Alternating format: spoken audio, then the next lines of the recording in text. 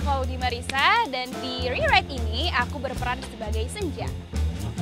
Kalau Senja itu anaknya sensitif banget. Kalau aku mungkin aku anaknya yang sangat kebal akan omongan-omongan orang.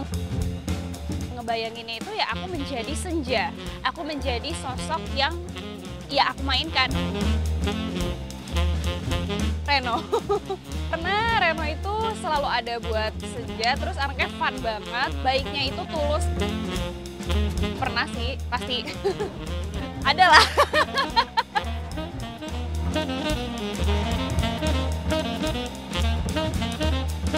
Sempat meet and greet sama idol Korea namanya Lee Jong Suk. Misalkan dikasih waktu balik lagi, aku bakal lihat matanya dia lama-lama. Abis itu aku bak nggak bakal lepas, nggak mungkin.